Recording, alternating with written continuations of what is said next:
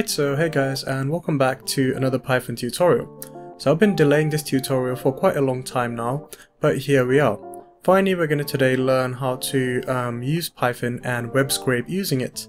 So, in this tutorial what we're going to be doing is grabbing a website and then scraping all of the content on it. So what does web scraping really mean? So um, pretty simply explained, web scraping is when you grab the content of a website and then you filter out only the content that you need or you filter out all the content that you need. So for example, if I open up uh, weather.com here, um, let's say I wanted to make a weather app. I would need a web scraper for this so that I can grab information from a third party website. So what I would ask my web scraper to do is access this URL right here and then pass the whole page and then grab this element right here which gives me the temperature and then what I would do is use that value in my program to grab the real-time temperature each time my program is opened. Cool, so we're not going to be creating a weather app, we're probably going to be creating that down the line in a few tutorials, but today we're going to be going through how to web scrape using Python. So that's enough of an introduction. So now what we want to do is go ahead and install a few modules that we're going to be needing for this um, program to work properly. So first of all type in pip install requests because we're going to be needing to make requests to a website so that we can grab the page. Mine already says satisfied because I've got it installed. And then to manage the pages and pretty much pass the information from them and grab information or filter information, we're going to be needing something called uh, beautiful soup and then type in 4. So this module right here pretty much gives us a nice interface to deal with passing of information and filtering as well. So this might not make sense now, but stick, uh, stick on with me so that we can understand what I mean further in the tutorial. So what I'm going to do is zoom in a bit and create a new file, save it as web scraping, uh, scraping.py. Py because it's a Python file. Cool. So first of all, we want to import b from BS4, which is Beautiful Soup 4, we want to import Beautiful Soup because that's what we're going to be using to filter our information. And then we want to import requests. Cool. So request is going to allow us to grab the page. So first of all, let's create a variable right here and call that variable URL. So now we're going to be typing in the URL of the website we want to pass or pretty much want to scrape the information from. So I'm going to go ahead and grab my portfolio website, which is already I know, http forward slash find and then forward slash again. Now what we want to do next is create a new variable called page, which is pretty much going to store the contents of the page that is being grabbed using this get request up here. Page equals requests, and then we use the get method to get the contents of this page, and then we pass in the URL in here. Cool. So now if we print this out, obviously it's going to return a pretty big um, object to us, so we're not going to do that. So instead, what we're going to do is we're going to start a new variable called soup. Now, each time you want to use beautiful soup, this is basically how it is in the documentation. You want to create a new variable called soup, assign that to beautiful soup, um, and then what you want to pass in is the page but when you pass in the page, you need to access the content of the page. So do page.content and then you want to do um, a comma and then you want to make sure that you're typing in html.parser. So we need to provide a parser to pass this information.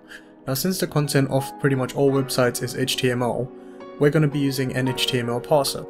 So that does that now what we're going to be doing next is I'm going to print out the content of my website. So if you want to print it nicely in a formatted manner, there's something called a prettify um, method inside the soup object. So since soup holds all the content to our website, which is already parsed using the HTML parser, we're going to use soup.prettify to basically format all this information that it's being um, that is being processed and then print it out.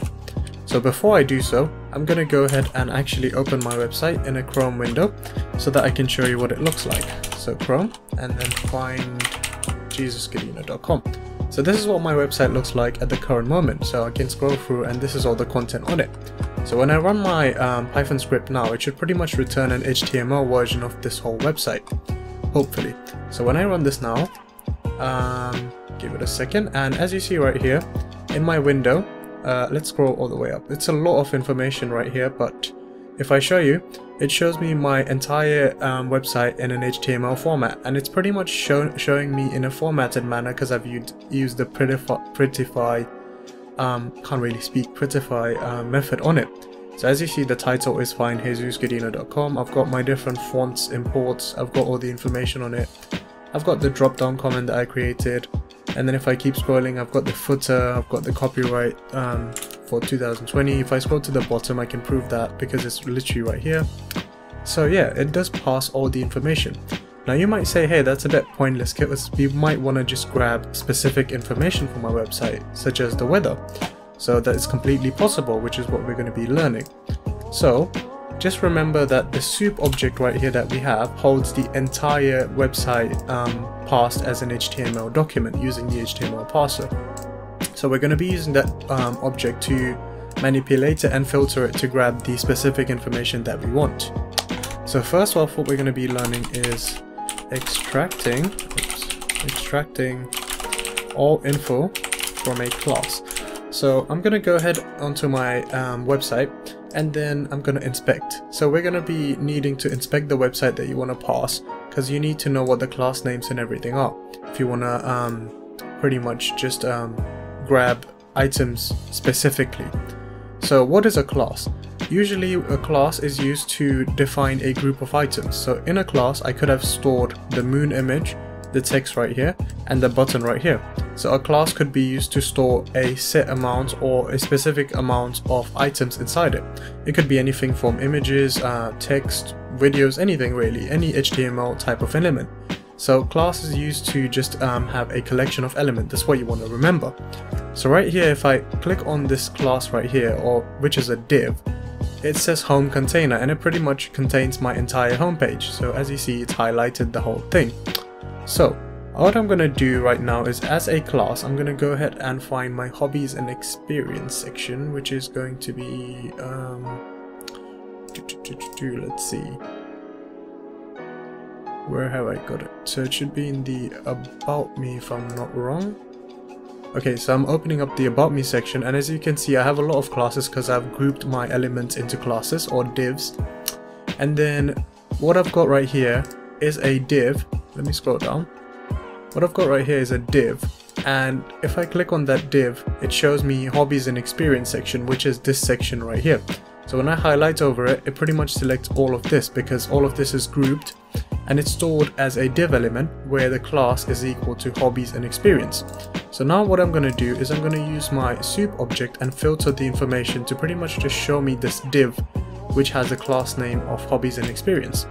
So you can do this with other classes as well, but I'm going to show you this one for as an example. So let's go to my code. Let's remember my class name, which is called a hobbies and experience, and let's remember that it's a div. Cool.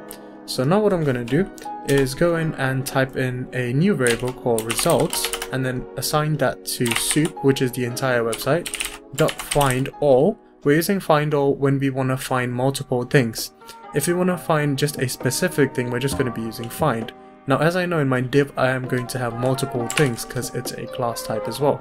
So I'm going to type in div because I know that the type of element I'm looking for is a div. And then I need to type in class underscore because I know that I'm looking for a class. And the name of my class I'm also sure that is hobbies and experience because that's the specific class that I'm targeting right here. Now, we can't just simply go ahead and just do print results because it's going to be um, stored as an array of items or like an object that's being returned. So we need to go for it using a loop or a for loop. So we do for result in results. We need to do print result. Now, when I run this, you'll be able to see that, let's go ahead and show you, you'll be able to see that I'm not um, seeing the entire website now, I'm only seeing my div class called hobbies and experience, so it's only showing me everything that's in hobbies and experience, so as you see right here. So it starts off from hobbies and experience and it ends at something that says Regal College International. Let me verify that by going back to my website. So as you see right here, it starts by saying hobbies and experience and it ends at Regal College International. So it's pretty much working fine. Now you might argue saying, hey, I just want to grab the text from it. I don't want all this code that's in there. I just want the value. So for example, in this H2 element, I just want to grab the hobbies and experience. And in the list element, I just want to grab the text. So that is very possible by just using the dot text method. So what we want to do is print, instead of just result, we want to print result dot text. So when we do dot text, it will grab the text from the element and not show you any of the HTML code. So if I maximize this, as you see right here, we have just a text version of the website, which is displaying perfectly fine. So it starts from Hobbies and Experience and ends at Regal College International. Cool, so that's how you extract information from a class and then display only the text. Now, what we're going to be learning next is how we can extract specific information using an ID. So instead of targeting an entire um, class, we can just target an element using an ID. Now IDs, I'm going to comment this out. Now IDs in HTML are pretty much used just for when you want to uniquely name an element. So that's what we're going to be doing. So extracting info using an ID. So now what I'm going to do is go ahead and open up my site and I'm going to inspect again because I need to do that. And then I'm going to go find an ID that's called project. So as you see right here, okay, I'm going to scroll down a bit. In my website right here, this is a div called projects. Now it also has a class, but it also has, it has a class, but it also has an ID. Now I'm going to use the ID to point to this um, div right here, and then we'll see what the results look like. So you can either point to a class, or I mean you can either point to a div using a class or an ID based on what's available on the website. So just now we've went through how to access a div using the class, now we're going to go through how to access a div using the ID. So the ID is projects, the type of element is div, that's all we need to remember. And now what I'm going to do is type in results again and then we're going to do soup dot and this time I'm only going to uh, look for one element in there so I'm going to type in find so soup.find and then in there we want to pass in div because the element type is div where the actually we don't need to pass in anything in here. When we're passing in an id it automatically does that for us. So we just need to pass in the um, id which is equal to projects. Cool. And then lastly what we want to do is we're just going to print out results dot text. We don't really need to be in the loop because we're only using find. We're not using find all that's fine. Let's run this now to see if it worked. So, as you see right here, what has happened. So it says, it says projects, discover some of my projects, what is this thing, blah blah blah blah, and it shows literally everything that's on my page. So, as you see right here, using an ID may be a lot more convenient than using a class because you don't really need to loop over all the information and you can have all the information at your convenience. So it's pretty much the same thing we did with a class, but this time with an ID. So we have literally grabbed the entire um, div for my project section and we're showing the information right here and that to just a text. Cool, so that's how to get specific information using an ID. Now we're gonna comment this out as well so that we it doesn't interrupt with the other stuff we're about to do. And now what we're going to be learning next is how to extract info using an element type and a string. Now this doesn't apply very well to my website, but let's say you were um, job hunting and you wanted to create an app, your custom app that job hunts for you. So you want to look on the website and find out the different um, job postings, and but you only want results from job postings that suit your keywords. So you have a specific amount of keywords like I don't know software dev, um, junior software dev, or I don't know web dev. So these are your keywords and you only want results that um, have these keywords in them. So that's what we're going to be learning um, to do now. We're going to be learning how to extract results based on keywords that are in the website. Cool. So extracting info using element type and string. So in this, when you when you're doing these type of things, you need to make sure that you know the type of element that you're going for. And this usually only works with um, text elements like headers or paragraphs or or anything like that. Just text elements. Cool. So what we want to do is type in results again, and then we're going to assign that to soup.find and then what we're going to be doing is actually we're going to use find all because we're going to be finding multiple things in here and what I'm going to be doing is I'm going to be targeting my h1 element right here. And then next I'm going to use a comma and then I'm going to specify my string. Now we can't just specify the strings in here like I don't know web dev um, software dev. We can't just do that because basically what it's going to do is when it's matching it with the website it's not going to consider all the white space or anything it's going to look word for word so instead of passing just a normal string, we're going to have to pass a function through it. So we're going to pass a lambda, a, function through it using a lambda. So lambda, and then we type in text, which is going to be equal to, so text is pretty much just a variable we're using. So who am. So this is the keywords I'm going to be using, who am. Now what should be returned is this right here. So the bit that says who am I because this um, bit right here includes who am, so it should return this element right here. Cool. So what I'm going to be doing is I'm going to be giving it the text of who am, and then what's next is that, okay, I'm just going to put this one back. What's next is that we need to assign a function to it as well. So we're going to do um, for this who am text in the text that is returned by the website dot lower so that it's lowercase. So if these two keywords are in the text that's returned um, in this find all right here, then what we want to do is um, we're pretty much going to be running the loop. So let's do our loop right here for result in results and then we're going to print result dot text now the result is only going to be the all the results in here are only going to be key are only going to be strings that include who am. So that's you that's in my case only one string because it says who am I. Cool. So it seems to be a problem here. What's the problem? Invalid string. Let's see. String equals lambda and then oh I've spelled it wrong lambda. Cool. Spelled it lambda. Okay, let's run this now. And as you see, okay, let's go back to output. Output. Okay, never mind. Run this again. And as you see, it says, who am I? So it's pretty much returning the element that it feels like it matches. The next bit is going to be grabbing different attributes. So grabbing attributes of elements using the element against the attributes. Cool. So you might say what are attributes? So let's say you have images on a website or hyperlinks on a website and you want to grab the hyperlink. So usually in HTML a hyperlink is written in an anchor tag which is an A tag and then it has an href and then you have the link in there so something like http and blah blah blah you get the idea. So when we scrape to our website we want to access not the A but we want to access, access the information that's stored inside the href so that we have the link. So I'm going to show you how to do that now.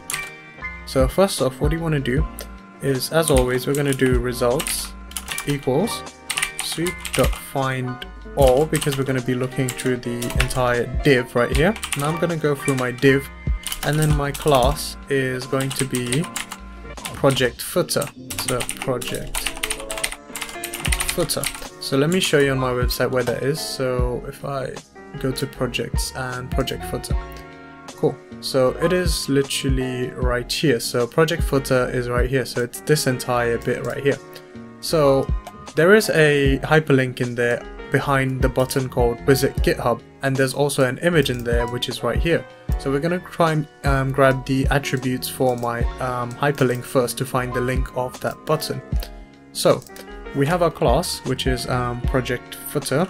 Now we do for result in results, we want to create a new variable called hyperlink, and then we're going to use the result and then use the find method on it. And in the find method, we're going to specify what element we're looking for. Um, let's look for the A tag first, or the anchor tag to look for the hyperlink. And then as I said, the attribute we're looking for is the href.